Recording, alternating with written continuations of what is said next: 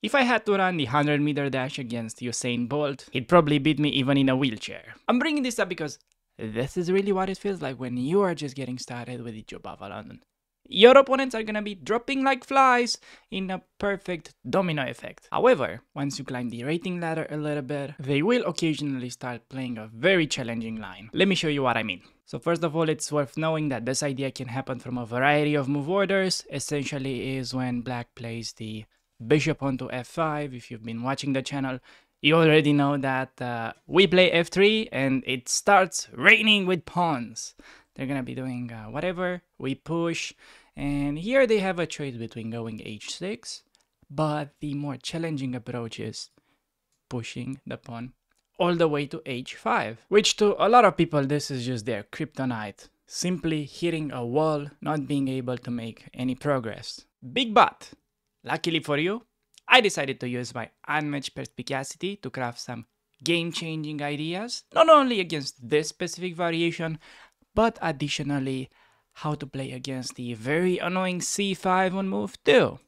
And more so, by the end of this video, you will have a complete guide on how to beat the Benoni as well. Enjoy! Alright everybody, getting another white game. Let's try uh, out at a Jobava London and Nokia opponent goes d5, which is by far the most common thing that I expected to face. Either this or the knight to f6. And yeah, normally would be expecting this. I'm not surprised that he plays bishop to f5 because they tend to do this thing kind of regularly for some reason, which is, uh, yeah, not the most theoretical thing ever. Nevertheless, we're going to be sticking with the Jobava and in case he plays the move knight c6, this is to get very interesting. Oh, never mind. He is just playing a6. Still, the main idea on knight to c6 is that you have the option of uh, dealing with this uh, annoying thing that's usually going knight b4 attacking c2 by playing the move e4 which is like super unexpected but the point is that after d5 black doesn't really have a good retreating square for the knight and white is much better plays the move a6 which is very logical though stopping knight to b5 uh, i'm just gonna play e3 expecting either of the knights to develop and because we see the uh, bishop onto f5, we are going to be playing uh, f3. I could have played f3 on the previous move uh, as well. It's just that uh, here, because he has no knight onto f6, uh, the pawn push is totally fine, but I think he's just a little more precise to do it this way. Um, plays e6. I'm saying it can be a bit more precise because uh, let's say if you were to play uh, f3 right away and imagine black goes e6 bishop back uh, h6 e3 maybe he could play bishop e7 and it's not very easy to defend the h4 pawn um, because you know the knight is like no longer on f6 blocking this idea not an issue but uh, yeah this is just my thinking process there and against normal move e6, just gonna launch the pawn push.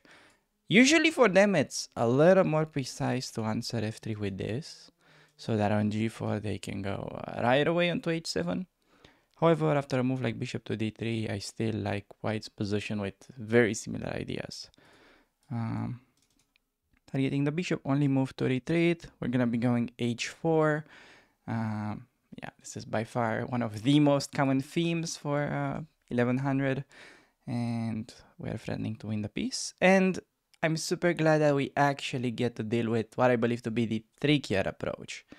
Because with the last move, they are threatening a takes on g4.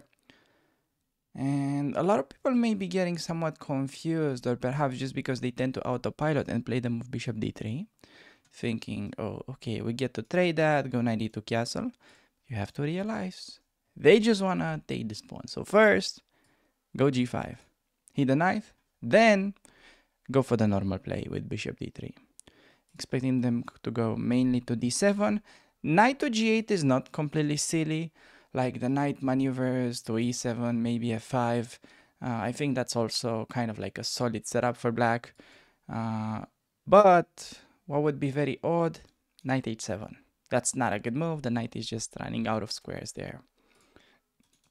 we see the most common move, just gonna go for the bishop trade. Always taking it with the queen in this structure. It is the easiest thing by far because we're simply preparing to castle long uh, very soon.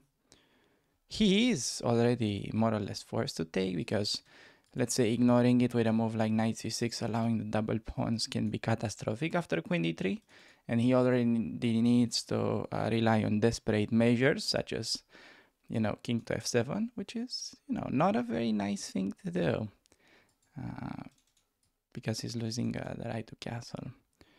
So gonna do knight e2 castle. And one idea that is very critical and a lot of people may be overlooking in this structure when they play h5 and you have pawn on g5 you can actually even go ahead and push g6 and the idea with g6 is not only that uh, you know it may appear that our main hope is so that they can take. And the queen comes in they have to play king e7 and this just looks like a disaster. But even against a move like f6 or f5 you still have very good chances to break through with e4 uh, generally i think g6 is great whenever you can play it and i'm gonna do it additionally uh, sometimes it could be better to play knight e2 long castle and just act normal. But in my experience, that happens very rarely. So I'm gonna stick with the uh, evergreen move, just going g6 and hoping he plays one of the more stubborn uh, ideas like stubborn defense with f6 or f5. But anyways, once you get the g6 push, if his position was a table, now it feels like it has a weak leg, therefore making the whole situation super wobbly doubly. Because taking would really not be making it a fair game. And he tries the move c4. It's pretty much saying at this point that if we move the queen, he's gonna take and we can no longer recapture, which is a very fair argument. But he may have forgotten that this move is intermezzo. I mean, in fact, he didn't forget because he had it pre-move, but we still uh, got kind of what we wanted. And on c4, even though we have uh, options here, queen can go back onto this diagonal too. As a rule of thumb, always your queen gets attacked, go back to d2. And that should be okay. Please bishop e7, threatening this pawn. Now, if I were to play knight e2, allowing bishop takes on h4 with check, I don't like that position because uh, our coordination has to suffer. But I don't mind giving up the pawn as long as, you know, we have a safe king. I think it's better for us to rather to not have that h pawn than to try to play a defensive move. Like I think a lot of people may perhaps have considered something to defend the pawn. No, losing that pawn I think it's beneficial because potentially the rook is gonna be very effective and gonna complete my development with knight e2. Uh, I could also consider to be a bit more flexible with e4 saying that in case he takes, I may benefit from the fact that we can play knight f3 or knight h3, knight g5. So if I'm like super obsessed with this, I could do e4. I'm just gonna keep it simple though, because I know some of you tend to start with a knight and you ended up uh, with it there.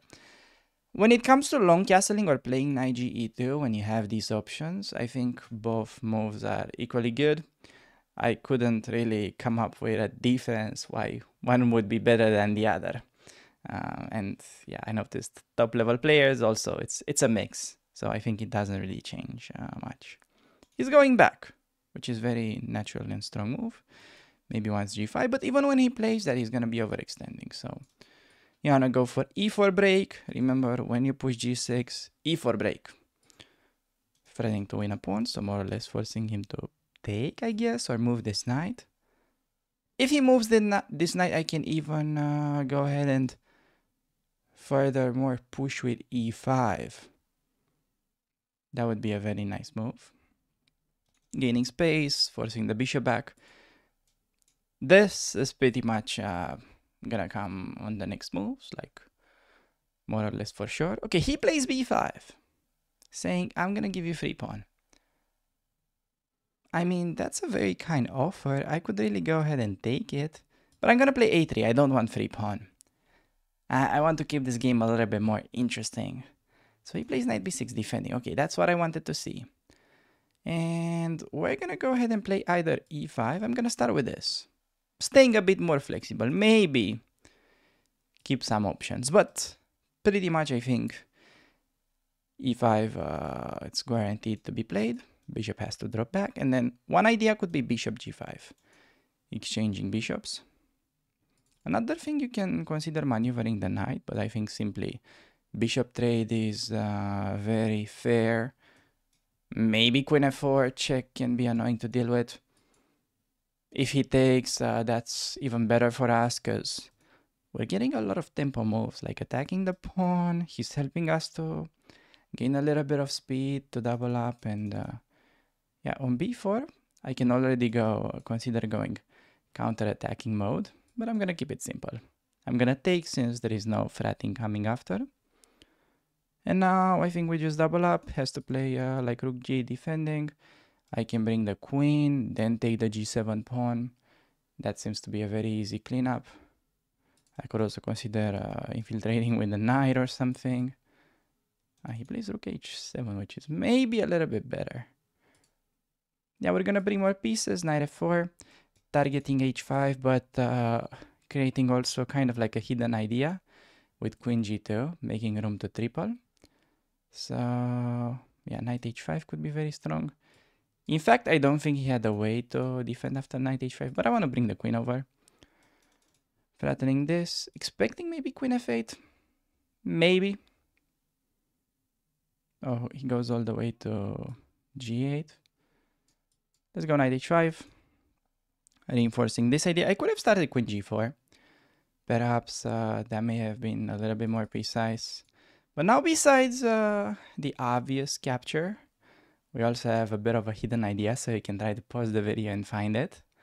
Hopefully we will get to show it uh, on the board. I'm not like super thrilled about taking with the rook there, because that's going to give him an endgame. But I think there is something better that's waiting for us.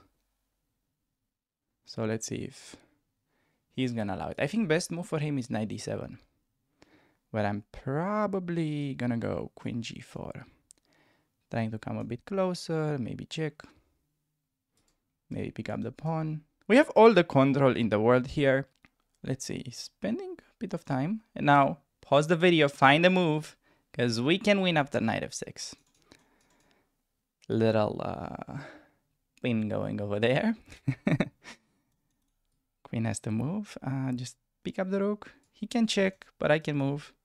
I can also block. So no need to panic. Just yet. Oh, never mind. Uh, I am checking him, so he cannot move that. Time to panic. uh, okay, I'm gonna go even this far and be very precise with a check, because now I can go for this. Forcing his king onto the 7th, and now notice these pieces. Don't take that because it's defended, but simply go for the queen. And the rest is pretty simple. Gonna get a new queen. And I think this turned out to be quite an instructive moment there, sacrificing the uh, h4 pawn and just the way our initiative uh, played out is as natural as the smile of a newborn baby or at least that's they, they use this analogy in chess books so uh, okay he resigns key takeaway go for g6 okay very important move uh, we can check it with the computer here uh, yeah you can see g6 top line usually it is that way um, and more stubborn defense would be like f5 in general. But still, you can go like knight e2 castle and break with e4. Um, from my experience, that is quite crushing. So, yeah. Please remember to answer h5 with g5. And with that being said, I think we can move on to the following game. Alright, everybody, getting another white game, this time facing an 1150. Plays d5, lots of d5, so we see that as long as we climb a little bit of uh, rating, they start playing a little bit more standard, like a lot of d5. Uh, specifically, I'm gonna go bishop to f4, This is the main position of the Jobava London. When you're playing the white pieces, that's pretty much uh, what you sign up for. If you decide to pick up this opening into your repertoire. And here black has a choice between a lot of moves. And he plays the move a6, okay, which is very reasonable. They are just uh, trying to stop our little cheese here with knight b5 and takes. That is not the only thing that we play for, but it's, you know, a nice thing to uh, have kind of uh, in the back of your mind. Plays a6, uh, important here to usually start with e3 before knight f3. The opening in itself is pretty easy, but the move orders are the main thing that uh, you want to focus on. So we start with e3. If bishop f5, we're pretty much playing like a chameleon. We're waiting for that so we can play f3. That's why uh, you're not starting knight f3, because if bishop f5, you can no longer be a chameleon. So who doesn't want to be a chameleon? I mean, just imagine how cool is that. Um, you go anywhere unnoticed. Maybe you're already doing that. I'm clearly doing it. So, bishop to g4, targeting the queen.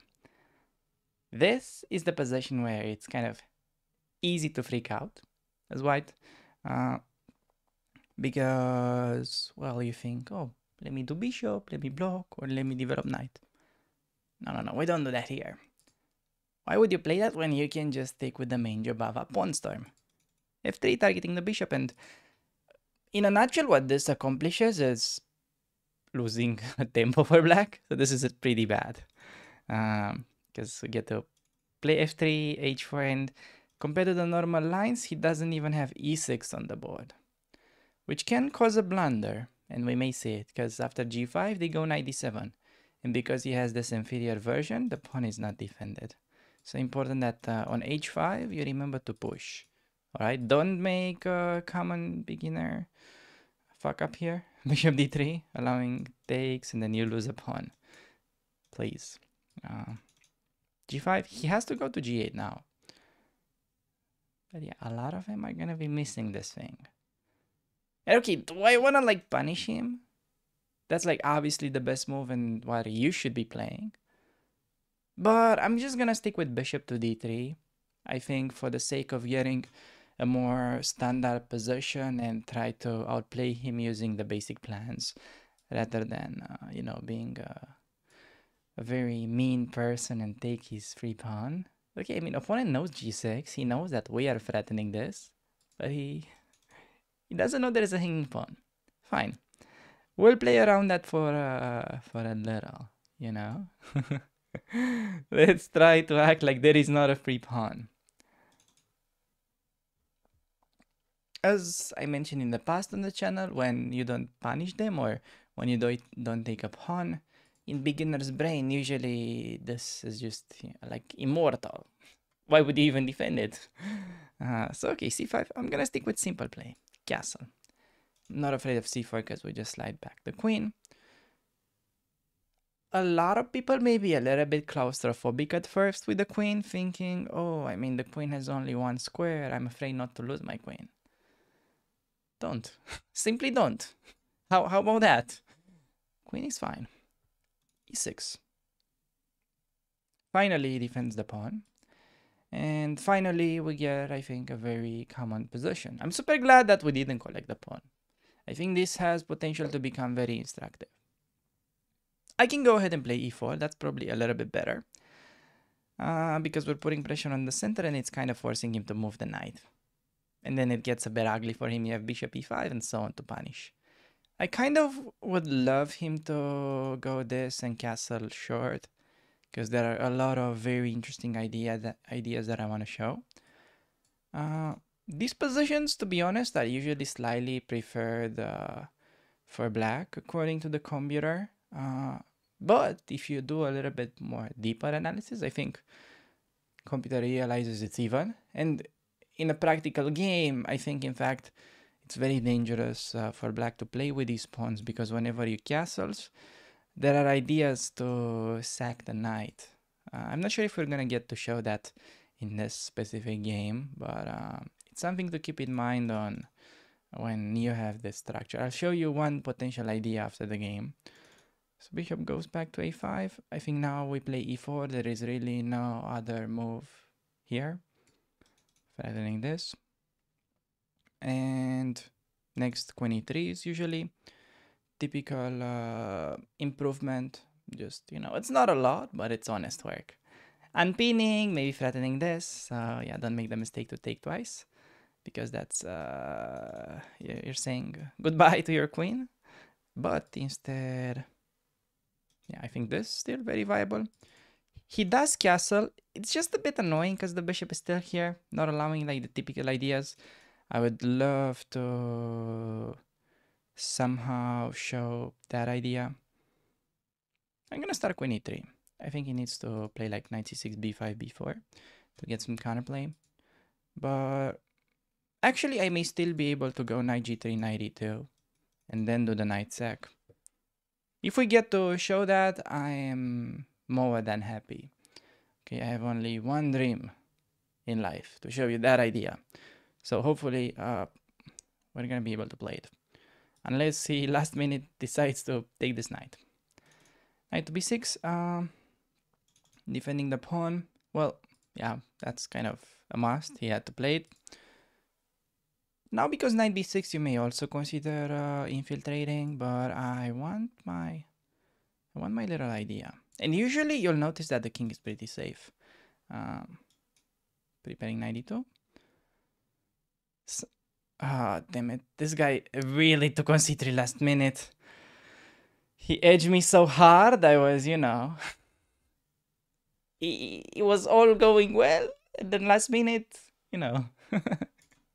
You're on a date with a girl and she tells you, oh no, I have to leave. My brother called me or whatever. oh man, this is so bad. I was just like so thirsty to take and bring the other knight over. But I'm gonna show you after the game how that uh, would have, uh, I think, played out. Uh, okay, knight to d7. Let's refocus. Uh, hmm. This is kind of like a nice move, bishop c1 to have it nicely around the king. If you go bishop d6 e5, you're kind of like planting the bishop, but then the bishop may become a target. So I think it's giving you a false impression that you are getting active. Just like my opponent gave me a false impression that I'm gonna get the sacrifice. Uh, knight a4, just gonna move the queen. If you play it on b4, once again, it's the typical uh, weak-minded move, thinking I attack the knight, but then your queen is gonna be a target to his pawns. So go to, I think, e3 instead. e1 also interesting. d2 is bad because he has c3. So e3 or e1. Not sure which one is better. I'm just gonna play queen e3. I'm not having a lot of time uh, remaining on the clock. I may wanna, yeah, this makes no threat. I want to do this, potentially infiltrating. I think that's a cunning idea that he has potential to forget about. c3, not doing much because of simply b3. And knight b2, it's like, once again, the knight feels active, I can just move the rook. The knight is like genuinely trapped. Okay, I mean, I can also take the free pawn. So yeah, like knight b2, it's not maybe that good because he has knight back. So knight b2, I just have to take it. But I don't have to take the b2 pawn. I can try to use it as an umbrella pawn. So I'll probably stick with my knight h5 g6 plan. My evil plan! Trying to play for a checkmate. Okay, queen to b5 doing uh, absolutely nothing, I guess. Uh, yeah. Time to... Time to stop playing games and go for the attack. Really, in this type of position, it feels like uh, black is so safe. Like they managed to stop our pawn push and the king is, you know, just chilling. But it can instantly be getting mated. Which is what uh, makes me love this variation despite the computer thinking it's like nothing special. I just find it so difficult to play as black from like a human perspective. Like imagine this is coming. If you don't take the pawn g7. And if you take, like I'm playing queen h6 anyways. Don't make the mistake to take as he may run away. Maybe I have rook g7 there. Takes. Nah, that's like uh, not good enough. He's getting a little bit uh, too horny with that. Uh, we just want to take. And uh, bring the queen. King f7. I can maybe check. The thing is, I don't need to see everything until checkmate here. It is pretty clear that his king is gonna be on the run and uh, we're gonna be getting at least enough compensation for like a perpetual or whatever. If we don't, it's I think pretty unlucky. But yeah, f6 I think easy easily collapsing. How do you defend on queen h6? You don't. so okay, look at this three moves ago. You thought your YouTuber is completely insane. He has no attack. He's just gonna be making a fool out of himself once again.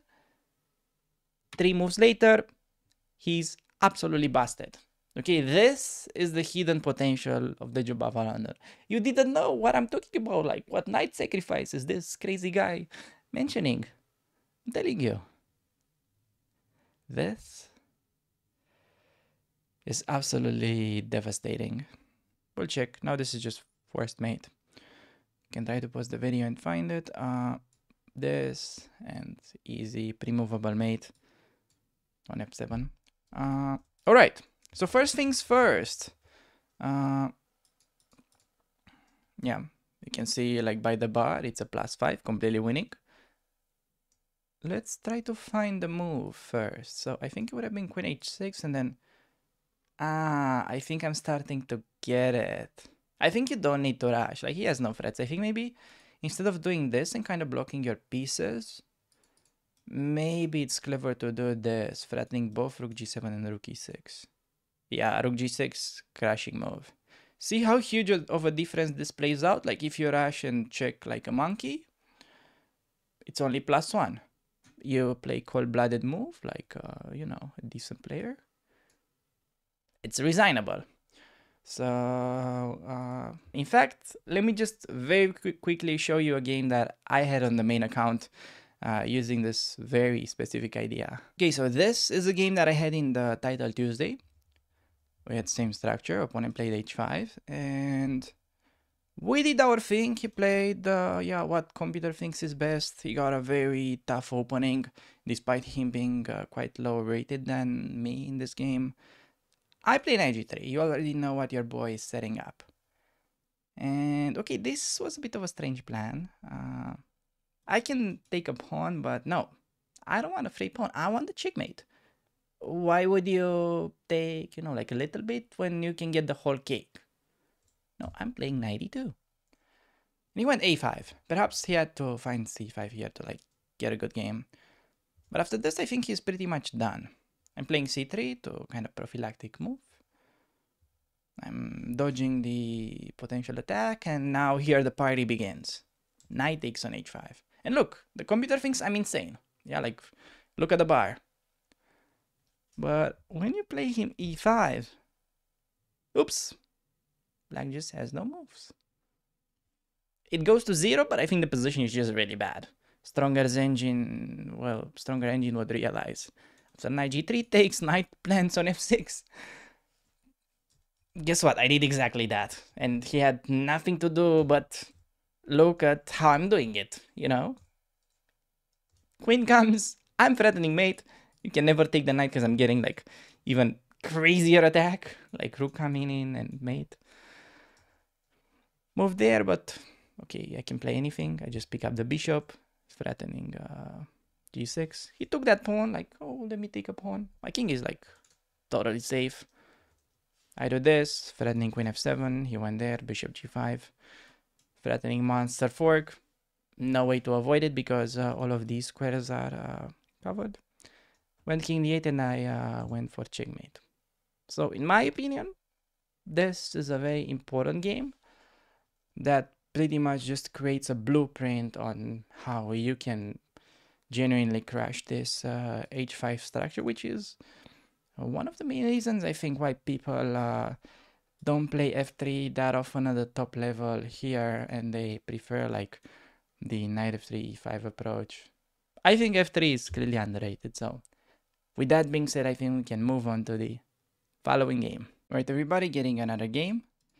Let's open up with d4 and Let's see what opponent has in mind for us. Okay, we see another d5. Gonna begin with a knight. Very important. Whenever you are planning to play the Jobava London, start with a knight. Playing bishop to f4 first would not be so great, especially because of such ideas. Alright, like a move uh, such as c5 makes it pretty much impossible to get another Jobava London because bishop to f4 allows cd4 and we generally want to have a pawn on d4. Therefore, you need to use your memory. Okay, I'm not. Uh, it's not very often that I'm asking for such, uh, you know, inappropriate uh, things. But you need to remember e4. Very important and strong move. Since cd4, queen d4 instantly better for white. Pawn on d5 is under pressure, and he plays that. Instead of this, it is better for them to go d takes on e4.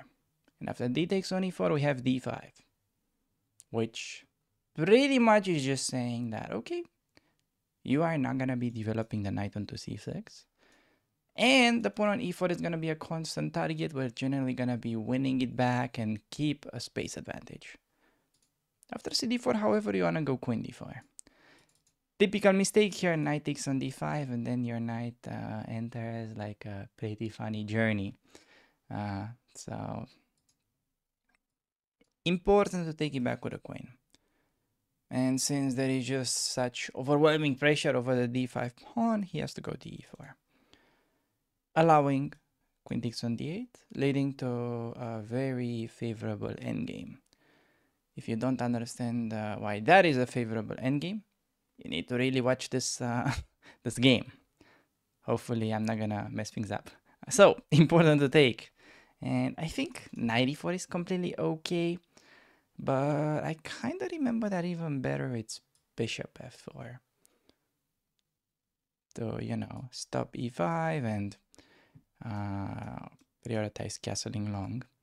The key idea in this type of endgames is that if black is able to hide with the king on c7 and then just develop like nothing has happened, the positions are pretty equal. But when king is not getting access to the c7 square, usually this snowballs super hard in white's favor. Usually computer evaluates these like plus one, plus two. Um, I'm gonna show you like more examples uh, how you can get these positions after the game. Uh, okay, he plays f5, logical move defending. I'm gonna castle with tempo. And I'm not gonna be a crybaby and uh, be concerned about the e5 pawn. But you have a very kind of nice instructive idea. Unless he plays king e8. King e8 I think loses on the spot he has to like block with a piece in order to survive a bit longer. Uh, but yeah, the idea that I kind of uh, wanted to uh, bring up to your attention is that we can play the move pawn to f3. Now, after pawn to f3, we're threatening to take and open up the position in our favor, and pretty much he is forced to take. We take it back with a knight, and then despite being down a pawn, we have very easy development imagine like let's say uh, bishop could go to c4 rook can go to e1 95 knight g5 type of ideas. It is essentially gonna be game over i think. So f3 very strong. Now before you play f3 which you're sure it's a good move you want to look for tactics okay? This is pretty much like uh, you're trying to drive a car without paying attention to the traffic rules. Yeah, no, it's like, sure, you gotta watch out for the steering wheel and all that, but you need to have your eyes open, okay? And you have your eyes open by looking for the tactics. Tactic would be, okay, we realize there is pin piece. So you want to put PP on the PP. You can do that with a move like bishop to b5, saying, okay, once this gets played, we have threat to play. Bishop b8 and take. But on bishop b5, maybe knight c6 takes takes and we don't have an immediate way to uh, increase the pressure. So then you should be at least considering takes and bishop e5.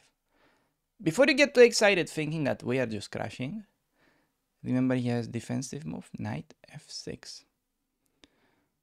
By the way, funny move that uh, just came to my mind. I think computer would really like g4 additionally.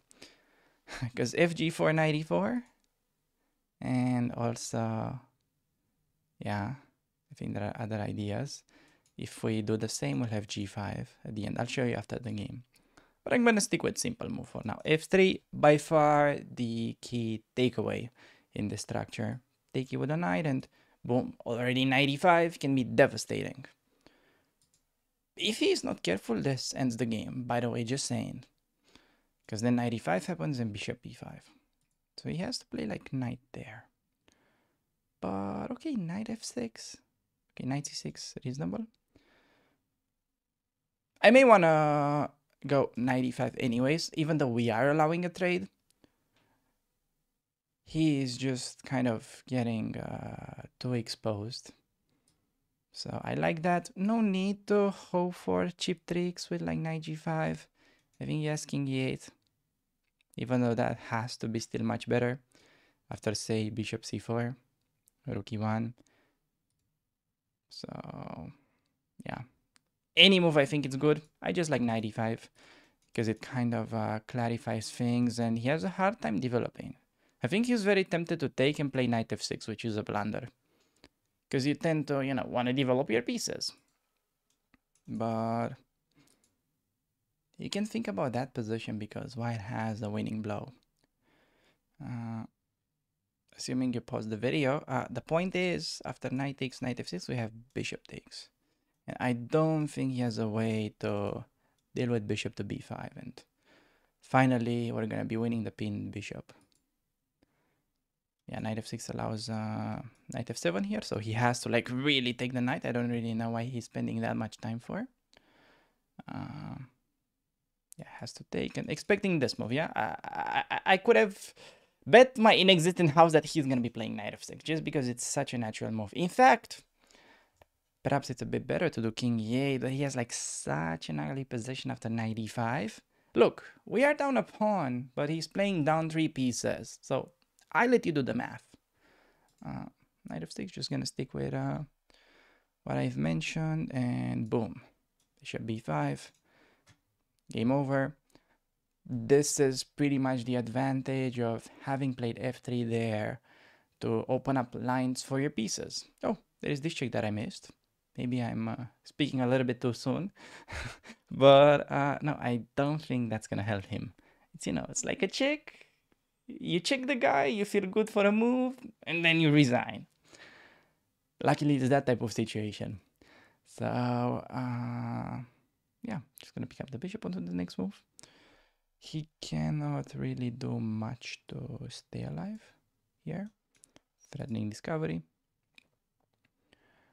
Wanna bring my last piece into the game. Wanna go 95 uh, pressure e7. I think we start rook e1, bringing uh, one more piece and rook e8 uh, can probably uh, be refuted by either 95 or takes. Both move look rather juicy. Uh, yeah, really, the rest should be, I think, pretty, pretty simple. It is such a position where we have the extra piece, but we also keep the attack. You know, like sometimes the situation is more double-edged when at least he gets something uh, for for the piece. But no, it's it's a very sad situation. Also getting forked. Uh, forked double attack. I don't know. I don't know what you guys name these things. I'm just gonna take the rook and uh, pick up the pawn. And next, I'm just gonna try to exchange everything. But we don't really get the chance since he just resigned. So, okay. Key takeaway. Remember to deal with c5 in this position, okay, you're feeling that there is no way to get the normal Jobava London kind of stuff. This would get kind of weird. Uh, by elimination, remember there is e4. But things get even better, because if your opponent is not careful and plays the best move, and follows it up with e6, you have one of the most stunning traps that I have ever seen, which is bishop to b5 check. Bishop to d7.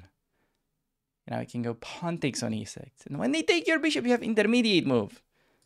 Pawn takes on f7. So, in order to not lose the queen, they need to go king e7. And if you take promoting queen, he can go for the trade and then take your queen. And that's kind of unclear. But instead, you can promote to a knight. If you don't have auto queen on. Imagine this is a knight, that's check, he has to take, and then you get bishop g5. And you get a free win. So that's uh, all there is about c5 for now. Uh, I expect it to be pretty rare in your games, but um, definitely annoying when it happens. So with that being said, I think we can move on to the following game. All right, everybody, getting another game with the white pieces. Let's open it up with d4 and hopefully we're gonna be getting a, a normal game, but okay. My opponent goes for the very early c5, which is also known as the Benoni. Against this move, you can pretty much uh, play a number of things. I do believe that dc5 is quite interesting despite uh, not being the uh, optimal move. I'm gonna stick with very principled play right now by playing d5. Um, I just wanted to kind of clarify that, uh, well, playing knight to c3 would not be so great just because of cd4 and uh, then uh, we're not gonna be getting the same positions just because uh, our important pawn center is demolished. So very important.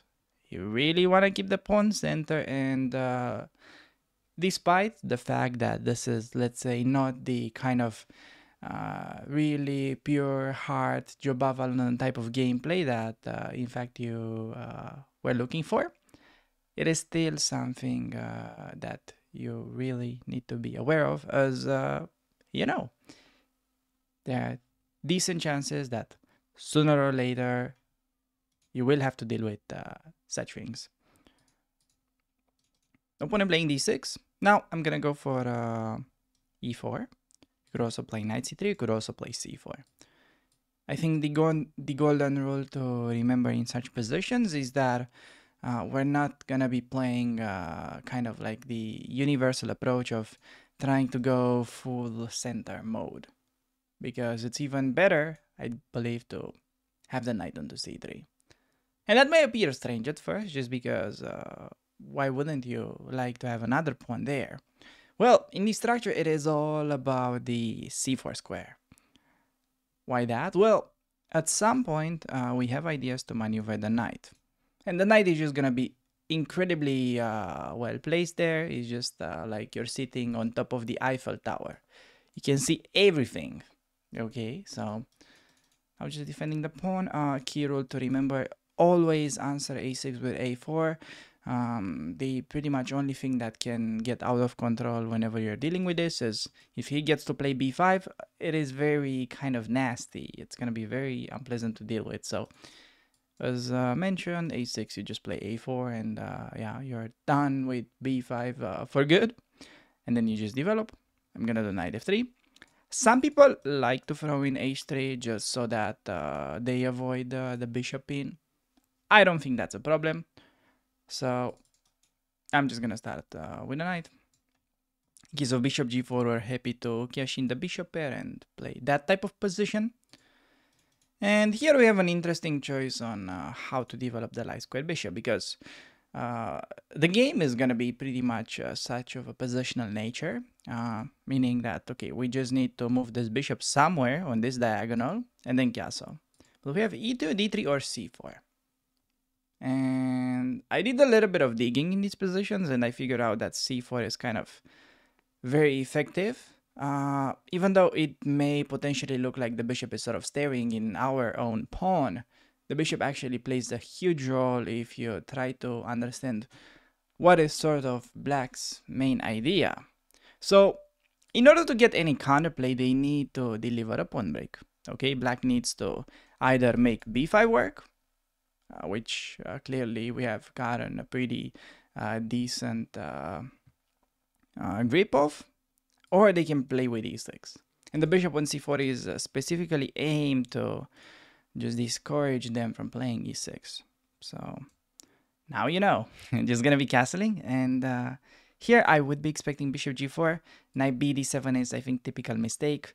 Uh, I mean, it's a playable move, it's just that I do believe uh, because of the lack of space, Black really needs to trade at least a pair of minor pieces so that they can move around easily. You know, it's whenever you're playing uh, this kind of structure like the Benoni, it feels like you just have a tiny apartment that is full of furniture and you barely have any room to move around. Uh, so that's why, you know, you just gotta get rid of some of the furniture. Uh, so um, he needs to go for the uh, trade, in my humble opinion. Uh, and there we have it, bishop to g4. I'm gonna instantly uh, question this bishop, just very typical idea in general whenever one of uh, your opponent's bishops is uh, kind of looming around your knight, uh, you just wanna, you know, it's like somebody is staying in front of your house for no reason, like a stranger. It's kind of suspicious, no? You just wanna get rid of the situation as soon as you can, or at least clarify it. So, gonna go h3, and okay, he goes back. That was not something that I was really expecting because you remember the whole furniture thing and uh well how are we gonna punish this? We're not. We're just gonna continue development. Very important. Uh, bishop to f4 okay bishop to d7 looks like he's preparing b5 but notice that after ab he cannot recapture because of the pin along the a file so just look at this you know it is really like the perfect picture of living in a one room apartment, but for some reason having five different tables. I don't know why would you do that. So he plays rook to e8. We have a choice. I can do rook to e1, but with his last move, it's kind of hinting towards uh, maybe he's gonna push. I don't think he can really push in good conditions, but we can also try to be a little bit more aggressive considering a move like e5 usually whenever you can play something like e5 that is just going to be kind of like a stunning move in the structure uh, pretty much uh, opening up the position in like two different ways where uh, white is just crashing. So i'm gonna play it. Okay he's pretty much forced to take and we take with a knight think he's uh, the knight goes. We have a nice uh, little uh, you know square on h2 for the bishop. He does that. We're going there. Now the knight is really vulnerable so you can even go ahead and pause the video, find a winning move for white if, uh, if you may. Uh, because there's like a lot of action going with his pawns, but more so uh, the knight is now sitting on a pretty vulnerable uh, position on a really like kind of mind square, uh, if you if you want, uh, because you can play a move like g4. And I know like a lot of you may be wondering, g4, just like weakening our king. Yeah, but if you think about it, every single one of your opponent's pieces is sitting on the first two lines. So you can really get away with a more aggressive move like g4, especially when it's winning a piece. However, he takes uh, on e5, so g4 now wouldn't be uh, making any sense because the knight has these two squares. It's just gonna take back, taking with a knight. Uh, in case you're wondering, isn't it a good idea to take with the bishop, trying to exchange his uh, fianchetto so that the king is gonna be weaker? I think that was a solid idea as well. I just like the knight better because we get uh, immediate uh, contact with the f7 square, you know? Imagine we play d6 and that could already be a disaster. So he plays d6 trying to sort of uh, open up the position. However, this is breaking a fundamental rule that says, uh, you know, the position will open up uh, for the side that is better developed. That is clearly us with our opponent not having any moves. Also, I'm not forced to like take immediate actions, even though I'm pretty sure we could get away with a move like this, but I'm just gonna play rook e1, which is uh, the so-called concept of letting him cook in his own sauce. Like he still has no moves, and if he decides to take, uh, I'm gonna take back with any piece that is gonna improve my situation. Uh, also, rook e1 is very effective because after ed, my knight would have been attacked twice. So it's just kind of a nice little prophylactic move, making sure every single one of our pieces is well defended, and uh, then we can take action. So he says, all right, I'm going to put pressure on d5. You already want to put your uh, big boy pants because I do believe we have a tactic. So pause the video and try to find it on your own. Because because of that, knight takes on f7, I think it's a killer move. Hitting the queen, more so undermining e6. I think he's forced to recap, and now we have d takes on e6. Okay, it's gonna go bishop takes on e6. And then what are you gonna be playing? I'm curious. There are, I think, two ways of dealing with this position. There is the simple uh, queen takes on d8, uh, deflecting the rook, and then picking up the piece uh, back with an extra pawn and obviously like crashing position. But uh, yeah, more so, I do believe that uh, on bishop takes uh, e6, we can simply take it with the bishop. Yes, take it with the bishop because if he is taking back with the rook, well, hello, the queen remains undefended. And this gives us the option that whenever the king goes back, uh, we would have had uh, bishop d6 uh, winning move. I'll show you after the game. Now, this is very tempting. This is tempting, but I'm just gonna take the uh, piece because then we take the rook, and then after we take the rook, the queen is undefended. This is like winning the jackpot, pretty much. It's like getting the big lottery prize without even paying for it. It is just breaking into the casino. Just when is the last time you've noticed something so brutal like this? You take a piece with check he needs to move. You take this, and then you take another queen, and then the knight drops, and then just look at this. His knight is never able to move because it's completely pinned and paralyzed uh, by my queen. We have just witnessed total meltdown by my opponent in what I like to believe it was a perfect Benoni uh, game.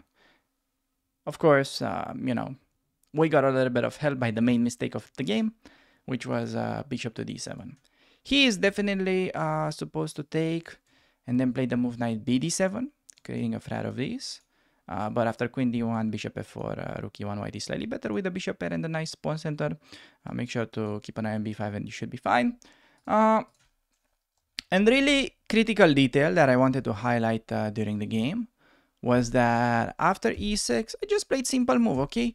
Maybe we already have knight f7, yeah, I think knight f7 was perhaps even here playable uh, just because of the fact that he cannot take with a rook. And if he takes with the king, the king is just going fishing with his bare hands. That is definitely a very risky operation. So perhaps rook e1, I just see the eval bar in the computer kind of liking this, but I'm not sure how you are supposed to really play. Maybe just a simple move like queen f3, I think it's vital. Sealing the deal, you know, kind of sealing the coffin for our opponent. He cannot go anywhere. The queen stopping the king, rook d1, rook e1. Just look at this. Imagine we play like rook d1, he moves queen somewhere. He's about to like get mated in the middle of the board. I mean, not literally, but uh, yeah, anything you play, this is probably like a forced mate. So there you have it. That is mate on the board, by the way. So uh, yeah, I could have gone knight f7. I played rook e1 because I just feel like, you know, First of all, uh, I am a chicken and I cannot calculate more than two consecutive moves. But on the other hand, I think it's a very important concept here that, uh, well, e6 just sort of makes you feel like, ah, he's attacking this. I need to do this. And then maybe he takes with the bishop. I trade queens. And you tend to go down this rabbit hole. And all that happens is maybe you're gonna be slightly better after all of these. Yeah, we cannot argue. There's a weak pawn. But look, now the knight has moves, the knight can develop, he's gonna finish development. It pretty much just becomes the game all of a sudden. So, no, he plays e6, you're like, dude, all of your pieces are literally sitting on uh, the first two uh, ranks, knight is on the edge. I need to do nothing but improve my position. Just go rook e1, you know, just try to be a sigma male or girl or whatever. Saying, I'm just gonna keep the tension because really one of the most underrated things that I have learned in chess is usually the weaker side will try to release tension. So you're the stronger side, try to keep tension. Uh, tension meaning like uh, pawns like these when you have opportunity to take or he takes. If you can keep that, you're doing well. So um, yeah, I think that's pretty much uh, key detail about this. Just before we go, I want to show you a very simple trap that gave me, uh, I believe, uh, over like 20 wins online against title players. So uh, it, it, happens in like less than five moves, which is pretty funny and absurd. After knight f6, uh, knight c3, preparing e4, and after e6, that's what they play. We support the center. And here, black is supposed to do something like d6 or g6, you know, continue. I mean, not g6 because that's weird. They are supposed to play d6 and then perhaps take and g6. But a lot of people just go ahead and take. And they really overlook the fact that you have uh, e5 as a move. Targeting the knight, and if they're going back, you can take on d5 with a massive advantage. Already almost winning. But it's funny that most people would try d4, thinking, oh, we get this knight trade, and then it's interesting game. But white has the move queen e2. Hello? How are you gonna defend against this check?